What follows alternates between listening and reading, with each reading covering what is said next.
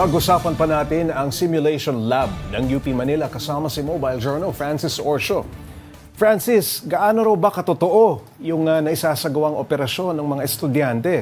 In short, gaano ba ito kalapit sa katotohanan? No? Yung Itong mga nila? humanoid Oh. robots o yung mismong simulators, Pops J, kasi parang ano siya eh, para talagang totoong tao kasi may mga emosyon din eh. Okay. Yung itong robot kayang umiyak, Oo. kaya niyang magsalita, tapos kaya niyang ah, halimbawa mag, magbigay ng reaction doon sa gagawin ng isang halimbawa ah, doktor na Oo. nagpa-practice nga ng operation doon sa kanya.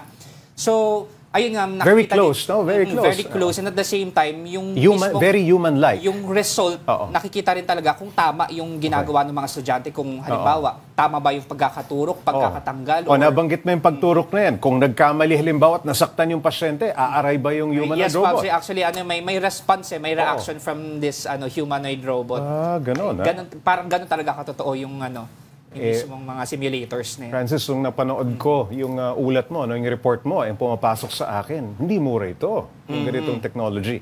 May idea ka ba kung uh, magkano ang ganitong uh, klase ng simulation uh, setup?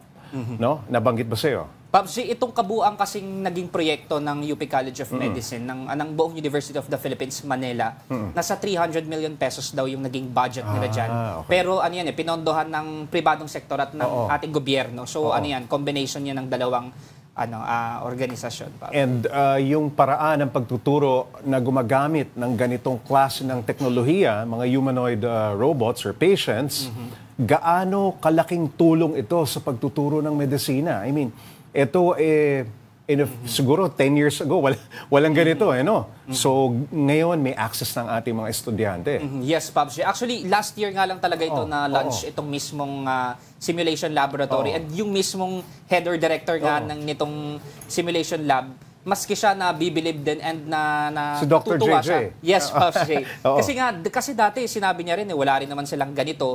Kaya yung nung nagkaroon na ng simulation laboratory ang UP College of Medicine, talagang Impressive, oo. malaki yung tulong niya sa mga estudyante para makapag-perform ng mga certain clinical activities. Oo. Kasi hindi na sila gumagamit ng, ano, yun, ng actual na mga tao. Kasi nga, ang gusto rin nila maiwasan yung mga risk na pwedeng Correct. mangyari kung halimbawa sa totoong tao nila gagawin yung mga hindi medical procedures. talaga yung mga ganyan. Oo. Kaya itong ah, simulators talagang makakatulong sa kanila. Mas mapadali yung ginagawa nila. Alright. Maraming salamat, Mobile Journal Francis Orsio.